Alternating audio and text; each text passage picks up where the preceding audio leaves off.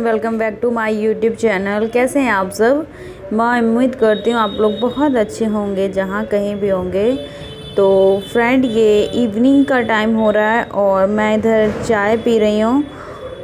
क्योंकि शाम हाँ शाम थोड़ा सा हो रहा है, थोड़ा हल्का सा बाहर से उजाला है।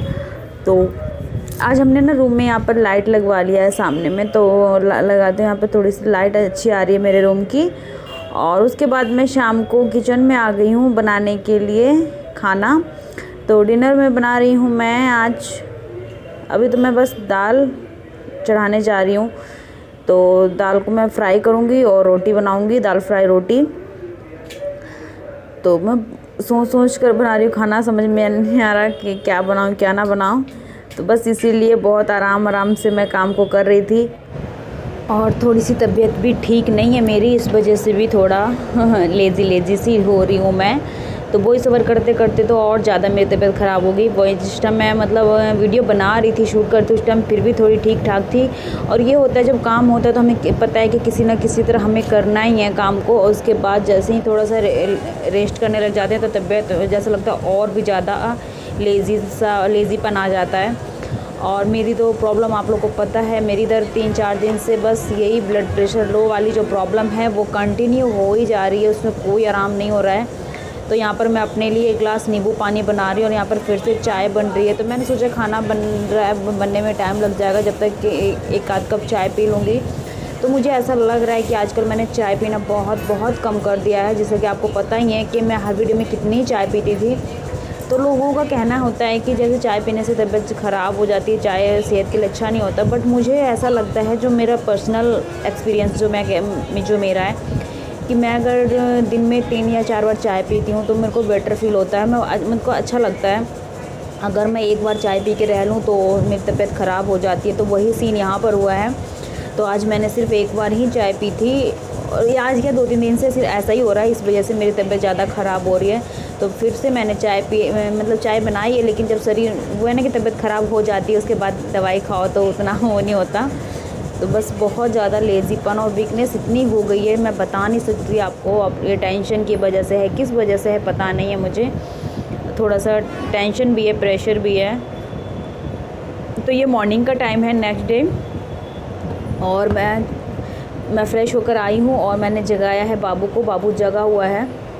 तो बाबू भी थोड़ा सा आलसी ऐसा कर रहा है तो मैं इसको बस ऐसे प्यार से ऐसे थप्पड़ संभाल रही हूँ। और देखिए बाबू की नौटंकी फिर से सो गया। तो अब मैं यहाँ पर मच्छरदानी मैं यहाँ पर लगा कर देख रही थी, बहुत ज़्यादा यहाँ से लाइट आती है, पता है वीडियो कुछ साफ़ नहीं होता, ये रोशनदान है उसकी वहाँ से। ऐसा लग रहा देख रहे हैं कितनी ज़्यादा तो मैं उस पर लगा कर देख रही थी कि मैं अगर वहाँ पर कुछ लगा दूँगी तो लाइट इतनी नहीं आएगी बट पता है घर चारों तरफ़ से बंद है तो इतना भी होना ज़रूरी है, क्योंकि जो घर में हम हम खाना वगैरह बनाते हैं, उसकी गैस नहीं निकल पाएगी तो और घुटन हो जाएगी। तो क्या करें, हर जगह से कुछ ना कुछ प्रॉब्लम भी है। तो मैं रूम को समेट रही हूँ, सुबह उठते ही पता ही आपको मॉर्निंग में किचन का मैंने कर लिया है। किचन को मैंने समेट लिया है, अब मैं रूम को समेट रही हूँ। तो हाँ किचन में पोछा वगैरह लगा दिए तो सारे कपड़े वगैरह मैं सही कर रही हूँ और तह मार के फिर मैं वापस रख दूँ। क्योंकि कम, रूम में जब कपड़े फैले होते हैं ना तो भी अच्छा लगता है देख देख कर। और मेरे चाय पीने का भी ऐसा मन नहीं करता तो मैं सोच रही हूँ सारे इधर से रूम वगैरह सेट कर लूँ, उसके बाद मैं चाय बनाऊँ और चाय पीऊँ। तो शायद मैंने चाय रख रखी है गैस पर बनने के लिए और इधर मैं सेट कर रही हूँ सामान वगैरह। तो साथ के साथ मेरा काम भी हो जाएगा, साथ के साथ मेरा रूम भी सेट हो जाएगा। तो देखिए मेरा किचन तो मैंने जैसे बताया था, क्लीन हो चुका है और हमने चाय भी पी ली है। तो यहाँ पर कप धुल रही हूँ मैं। पोछा भी हाँ पोछा भी मार लिया मैंने। तो बस मैं देख देख कर बता रही क्योंकि वीडियो शूट किया है मैंने पहले वॉइस ओवर बाद में कर रही तो होता है ना, काफ़ी चीज़ें भूल जाते हैं। तो इस वजह से। और देखिए, यहाँ बाहर से लाइट आ रही है, इसलिए मेरा वीडियो साफ़ नहीं होता है, आता है। जो नेचुरल लाइट आती है ना रूम से गेट या खिड़की की से, की हेल्प से तो देखिए, मैं उधर, मैं देखिए, अब मैं गेट बंद करके आई हूँ उधर, तब जाके फिर थोड़ा सा ठीक दिख रहा है। तो चलिए, हम बना लेते अपना लंच तो लंच में बनाने जा रही हूँ मैं आज। नमकीन चावल, बिल्कुल सिंपल तरीके का नमकीन चावल बनाने जा रही हूँ। तो यहाँ पर मैं सोयाबीन को पहले धो लेती हूँ और उसको थोड़ा सा धो के फिर थोड़ा सा पानी डाल के हल्का सा उसको गर्म पानी मतलब पानी थोड़ा सा गुनगुना हो जाएगा और सोयाबीन के अंदर का जो भी वो क्या बोलेंगे बरसात के टाइम में अजीब सी स्मेल आने लग जाती है। वैसे इसमें आ तो नहीं रही थी लेकिन मन में होता है कुछ कि कहीं स्मेल वगैरह ना आए तो वही साफ़ सुथरा मतलब अच्छे से साफ़ हो जाए, वही कर रही हूँ मैं। यहाँ पर मैंने दो प्याज लिया है, उसको मैं छील रही हूँ अच्छे से और यहाँ पे थोड़े से आलू है। तो आलू को भी इसी में कट कर लूँगी। और यहाँ पर मेरा नेल्स कट गया तो एक्चुअली ना ये चक्कू है ना, बहुत पतली सी चक्कू इसे कटने में थोड़ी सी दिक्कत होती है। मैं गई थी घर, वहाँ से चक्कू, फिर मिला ही नहीं मुझे बड़ा चक्कू, मुझे मार्केट से ही लेनी पड़ेगी। तो देखूँगी, जब मार्केट कभी जाना होगा तो ले लूँगी। अभी तो बस काम चल रहा है, आलू प्याज कट जाता है। अगर और कोई बड़ी, बाकी सब्ज़ी होगी, कद्दू वगैरह तो वो नहीं कटेगा इससे अभी तक तो, तो आलू प्याज खा रहे हैं तो इसी से काम चल रहा है। तो चक्कू भी हमारा सदरा ये बाबू कुछ कंप्यूटर का पूछने आया था। वो पूछने क्या मुझे भी नहीं आता वो तो बस मुझे बताने आया था कि मैंने ऐसे ऐसे किया है। तो यहाँ पर मैं नहीं दिख रही थी तो मैंने अच्छे से सेट किया और मेरे हस्बैंड उधर क्या कर रहे हैं? हाँ लग रहा है कुछ वो, वो नीचे दुकान में पेंट हुआ था। तो थोड़ा सा वो बच गया है तो वो वही बाथरूम के साइड पे वो पेंट मार रहे हैं। तो वैसे अभी उनको नीचे जाना है। तो वही कह रहे थे कि फटाफट से खाना बना दो और फिर मैं खा कर जाता हूँ, क्योंकि वो, मैं सोचती हूँ कि मैं लंच बनाऊँ आराम से तो वो ना खा नहीं पाते, दोबारा से लंच करने आ नहीं पाते हैं, क्योंकि काम होने लग जाता है, फिर उसको छोड़ कर आना पॉसिबल नहीं होता है तो इसी वजह तो फिर मैं क्या कहते हैं हाँ देखिए, मैं भी ना पागल हूँ, भूल जाती हूँ। तो यहाँ पर मैंने कुक मैं कुकर में ही बना रही हूँ, अब मैंने सोचा नहीं कि कढ़ाई में भून हूँ, फिर कुकर में बनाऊँ तो बस सीधा डायरेक्ट कुकर में ही बना रही हूँ। देखिए अभी भी मुझे उवासियाँ आ रही है तो बस मेरा ब्लड प्रेशर लो होने से मतलब जब मेरे को उवासी आती है तो आप सम, समझ जाती हूँ मैं कि मेरा ब्लड प्रेशर लो हो रहा मेरी आँखें बंद हो रही है। तो आप मानोगे नहीं मैं सारा सारा दिन सोती हूँ मतलब सात घंटे आठ घंटे मैं दिन में भी सो लेती हूँ मेरी आँखें नहीं खुलती है। तो देखिए यहाँ पर मैंने जीरा डाला है और उसके बाद चलिए अब रेसिपी बनाते हैं। बहुत बातें हो गई फालतू की है ना? तो मैंने यहाँ पे जीरा डाला है उसका थोड़ी सी हल्दी डाली है और हल्दी तो पता ही आपको मैं क्यों डालती हूँ। क्योंकि जो तेल है वो उड़े नहीं और छीटे ना पड़े तेल के, इस वजह से। और यहाँ पर देखिए मैं इसको थोड़ा सा गोल्डन कलर का आ जाए, हो जाएगा प्याज, तब तक भूनूँगी। और मैं कट कट करके दिखाऊँगी क्योंकि वीडियो लंबा हो जाएगा। और देखिए यहाँ पर फिर मैंने आलू डाल दिया है और आलू को भी भून लूँगी मैं इसमें अच्छे से। आलू को ज़्यादा अच्छे से ना भी भूने तो चल जाएगा, ऐसी, ऐसा कुछ नहीं है।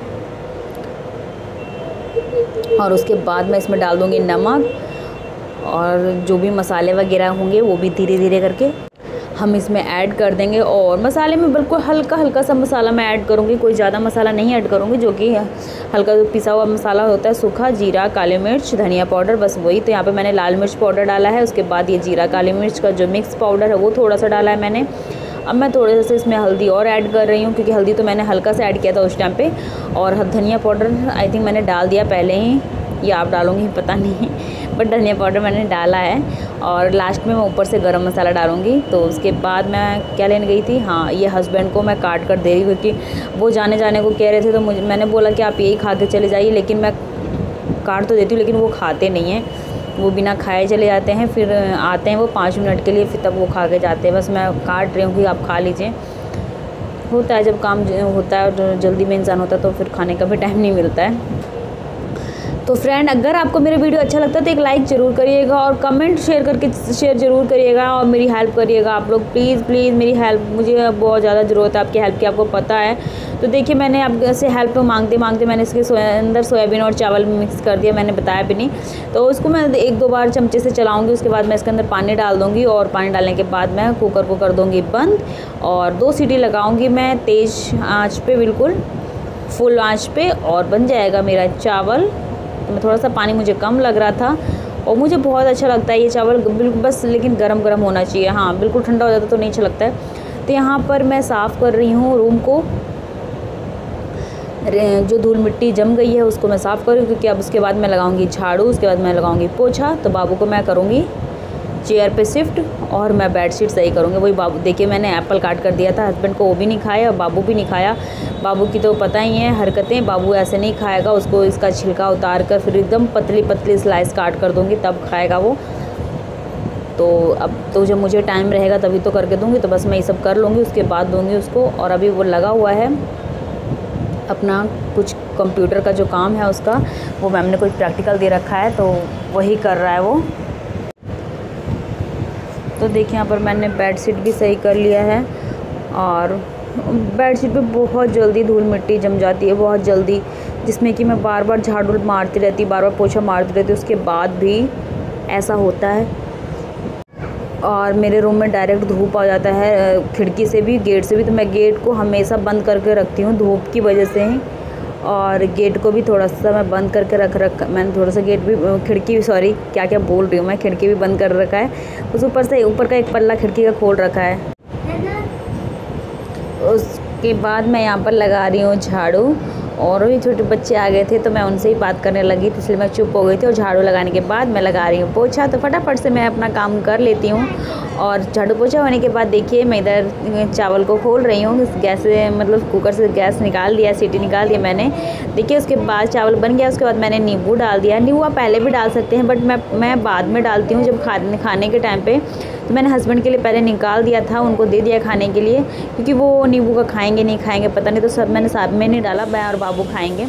तो फ्रेंड ये देखिए, ये व्यू है मेरे घर के नीचे का, मैं अभी रेलिंग पे खड़ी थी तो मैंने वही शूट किया है थोड़ा सा बस मेरे, हमारे घर के नीचे देखिए, कितनी भीड़ होती है बहुत ज़्यादा, और इतना शोर होता है ना रूम के अंदर इतनी तेज़ आवाज़ आती है, कि अगर फ़ोन पे भी बात अच्छे से हम नहीं सुन पाते, क्योंकि अगल बगल में भी मशीनें चलती रहती हैं लकड़ी की, और भी सारी मशीनें चलती हैं, और ऊपर से फिर गाड़ियों की इतनी आवाज़ तो बहुत ज़्यादा शोर होता है, बहुत ज़्यादा।